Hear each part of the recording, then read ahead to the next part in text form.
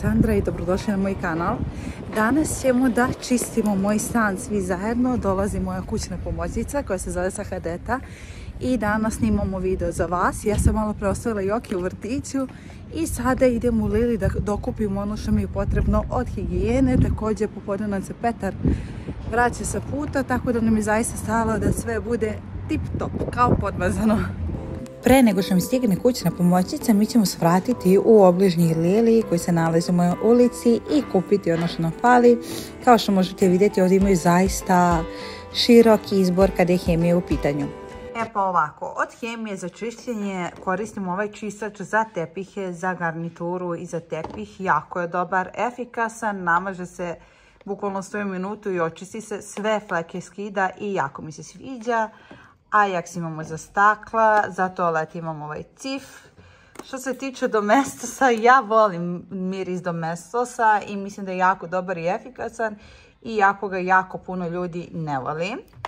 Za pod sam uzela ovaj Ajax, za parket, e, jako je dobar, kažu da daje duplu svežinu.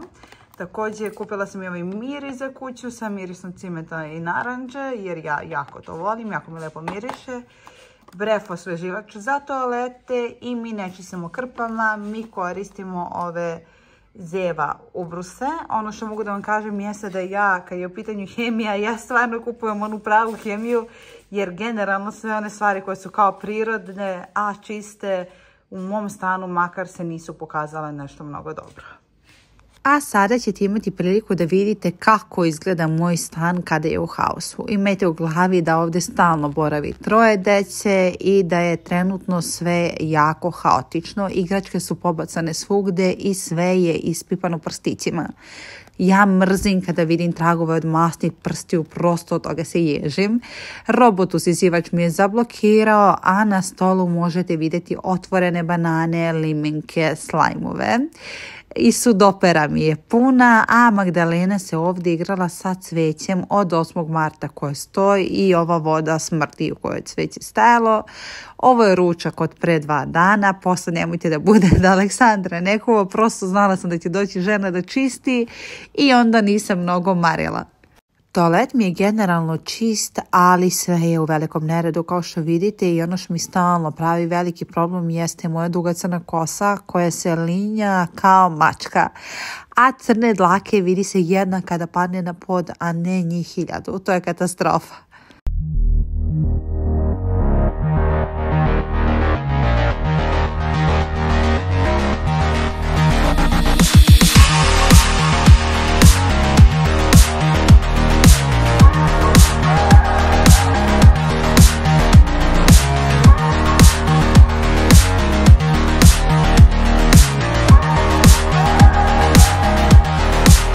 Ono što je meni bitno i moje porodici jeste kada neko radi kod nas da u njega zaista imamo 100% poverenje.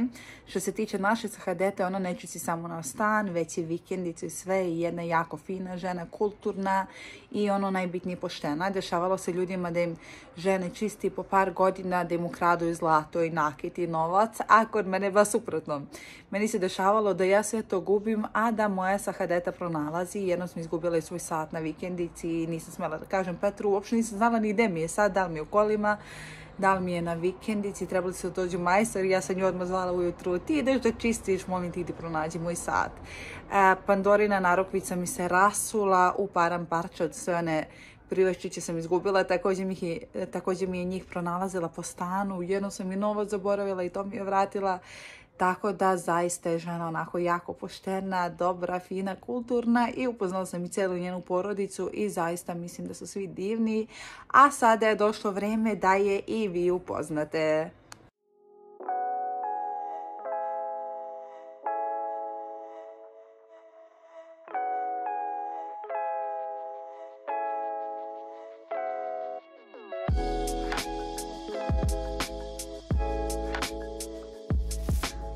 Kao što je auto potrebno gorivo da se pokrene, tako i nama ujutru potrebna po jedna kafica, a vi sada možete vidjeti moju sahadetu. Ajmo popiti kafu i da ne zabušavamo. Sahadeta, prije nego što popijemo kafu i krenemo da radimo, vi vidite koliko je ona vredna žena. Ja bih volila da ti kažeš kako se ti osjećaš kod nas kući. kao da sam u svojoj kući i ja tebe prihvatila kao da si ti moje dete. I, I ja mogu reći da su moje deca tebe prihvatila i da te Joki zove baba. Da je Joki čak miješao jedan period, Joki zove Gde je baba da mi opere majicu? I onda ja pozovem babu Ljubu, ne ta baba, ona druga baba. Ja bi Joki, ja bi osvojila. Znam, Joki kako se zove, njemu Sahadeta nekako kao neka zaštitnica i onda on nekad ga se na, upiške na krevet, on viče, mama, nemoj da se ljuta, nemoj da se plaši, što će sve baba da sredi. Tako da tebe Joki i moja deca baš vole. Imaš li ti još nešto da kažeš? Uh, šta da kažem, da se osjećam jako, jako, jako prijatno ovde i da ja poštujem tebe ko svoju čerkicu i tvoje decu pripati ko svoju unučad. Jeste. I mi sada idemo da čistimo. I kao što možete vidjeti, ja sam se obukla za čišćenje. Tu su crne helenkice, standardne i ova lepa bela majica. Neka je. Počela sam od uh, raščišćavanja kofera. Naime, ovaj kofer nisam raspakovala kada sam došla od tate. Ovdje su mi čiste stvari, a ovdje sam izabrala, to si izdvojila stvari koje su za pranje. Također ono čemu ću se ja danas baviti jeste slaganje ormara. Slaganje ormara kod nas kući može da bude malo zeznuto jer Magdalena moja voli da nosi stvari koje su oversize, a ja volim da nosim ono što je onako malesno i onda se dešava nekad i da sa hadeta stvari pomešam. Ali ja znam da ako nije u mom ormaru, da mora da je u Magdaleninom. Počinjemo sa slaganjem stvari. Izvukla sam slušalicu sa vešem iz svoje spavaće sobe i krećem da slažem ovu silnu posteljinu.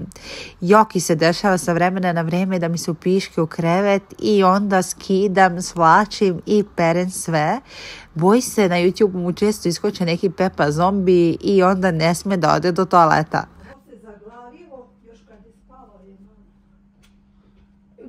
Moraš taj. Mogu samo ovo gore da dignemo da sam. E pa dobro, taj nećemo ni da vadimo. Koji će neće? Ja sam ga i okrenula na drugu stranu. Ako nekom nije jasno o čemu pričamo, pričamo o dušecima. Za Hadeta, kao što možete vidjeti, usisava krevet, a ovaj krevet ima dva dušeka, ovaj gornji i drugi koji se nalazi u fioci, koji manje više i ne koristimo jer je pretežak. Jako ga je teško izvući, ja to ne mogu sama da uradim bez Petra, tako da ga i izbacujem iz upotrebe, nema potrebe da se žena muči. Također sam odlučila da deca spavaju u gostinskoj sobi i zato će ovaj krevet biti postavljen kao garnitura. Došla sam da je pomognem i da spakujem ćebiće u orman. S obzirom na to da sam mlađa i višlja, meni je mnogo lakše da se popnem. Ja vam mogu reći da sam se ja već premorila, a nije prošlo ni sati i po vremena. Složili smo dosta stvari i pustili smo već da se pere. Sahadeta i Magdalena čiste tamo onu dečju sobu, to je Sahadeta čisti Magdalena zagovara.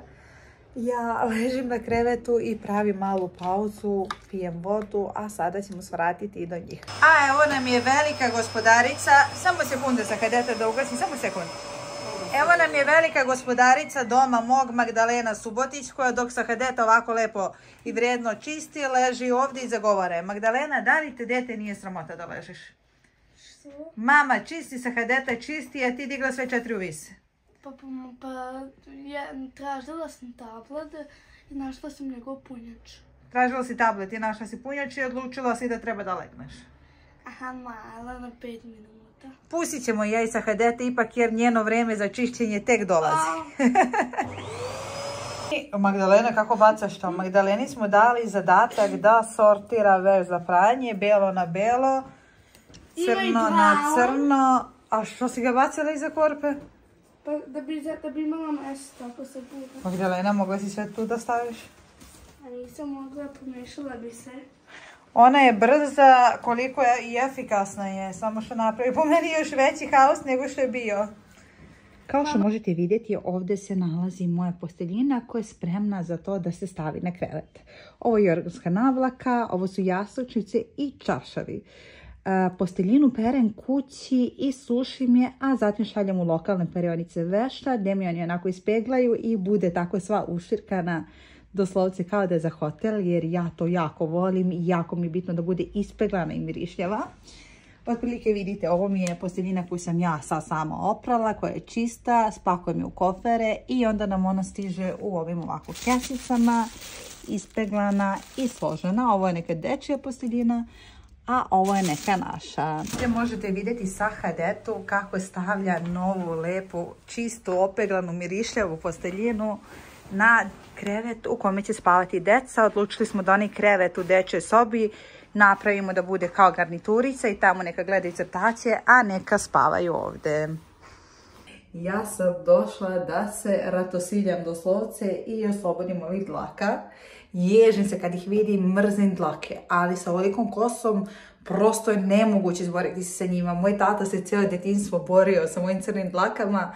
Još naročito kad mi je bila svetlija kosa pa one se ne vide, ali kad su crne, a na belu garnituru te kada padne.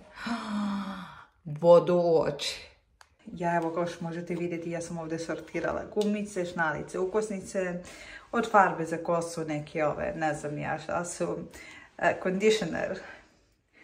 Ovdje čistim četke, ovdje bacam dlake, poslije ćemo ih usisati u sisivača. Također moram i da složim i prebrišem svu ovu šminku i ovu stranu sa parfemima. Tu mora se lepo da se obriše prašina i da se svi ovi parfemi obrišu. Također svu tu šminku ćemo se potruditi da složimo i da uglavimo ove police. Ovdje možete vidjeti također i još nešto od moje kozmetike. Pazi koga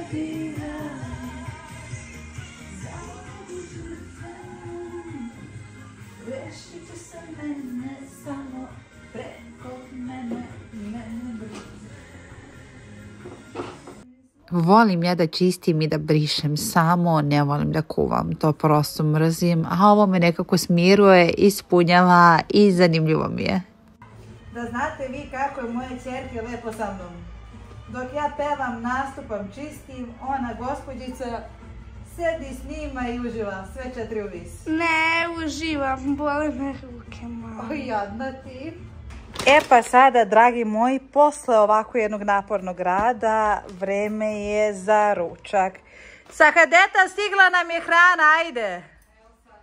Mi ćemo sada da ručamo jer snaga ulazi na usta. Ja sam izabrala ovaj fantastičan bif tečić, a Megi nam jede piletinu, kaže da je smršala 3 kile jer samo jede piletinu na kajmaku.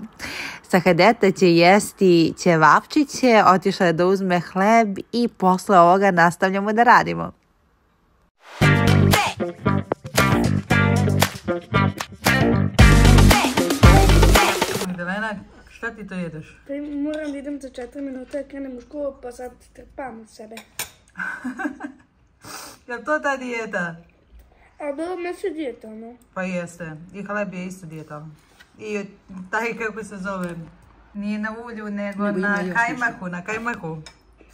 Nije na kajmaku. Jeste, bijelo meso na kajmaku. Kao što možete vidjeti, ja sam se prejela. Ovako.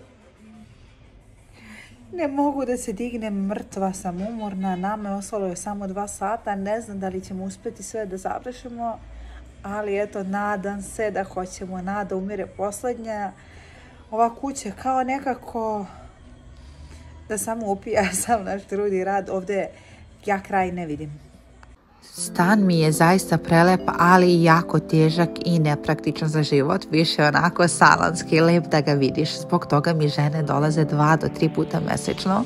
Uglavnom na početku mjeseca dođu njih dve, a kasnije dolazi sa Hadeta sama i nas dve peremo zavese i sređujemo sve da se blista jer moj Petar insistira na tome da sve bude savršeno. Djeta moje, ti pitam ja kako se osjećaš? Umorna. si crkla. Jesam. Da li vidiš, to sam tela te pitan, da li vidiš kraj ovom našem džumbusu? Evo još malo i gotovo je. Ja mogu reći da smo mi danas mnogo delotvorniji nego što sam očekivala. Jeste. Ali da imamo mnogo više posla nego što sam očekivala. Pa jeste, ali dobro je. Dobro nam ide. Da. Ostali su nam još samo možda toaleti i što jedno je još ostalo? I trepezarija i ništa više. I terasu ćemo onu da navisimo. Da. I ljudi, ja umirem, ali umirem. Sada ću uzeti da spakujem ovu Coca-Cola i vodu u frižider jer meni bi to bilo to. Ostalo sam sa hadeti, ja sam duša ispustila. Ali duša mi je na nos izašla.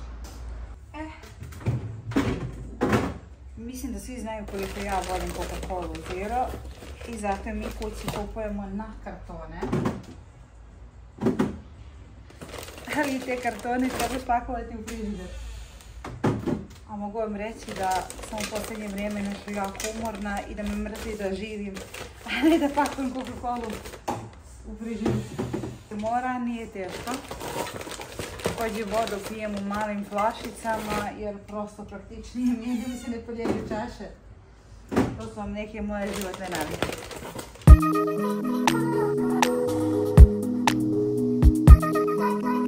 Ljudi moji, već je 4 sata, mi smo počeli u 9 i dalje nismo završili. Ja sam sada krenula po Jokija, Kokija u vrtić, a moram ovo da vam pokažem. Zapamtite, moja kuća se čisti tri puta mesečno generalka. Pogledajte vi ovo. Ja ne znam odakle se nakupilo ovoliko đubreta. I još ovo nije sve, ovo je bukvalno samo jedan delić, ali bukvalno strašno. Joki Koki, znaš ti ko je došao nama da čisti? Ne zna, ko? Efe, se, Baba je došla. baba, A znaš zašto je došla baba? a se isi. Da, zato što si ti noćas upiškio krevet, bre. Izvini, nema veze. Nas dvoje dok smo stigli kući sa Hadete je već sve završila. Kaže nam da se opustimo i da uživamo, a vama preostaje samo da vidite kako je sve ispalo na kraju. Napokon smo završili. E, baš tako. Hvala Bogu, sve je gotovo. Dođi da ljubimo babu, ćemo da ispratimo. Ne, ne. Ne? Kako bre ne? Ne. Zašto nećeš? E, Zato što je baba rekla da je radila kao bik. Da.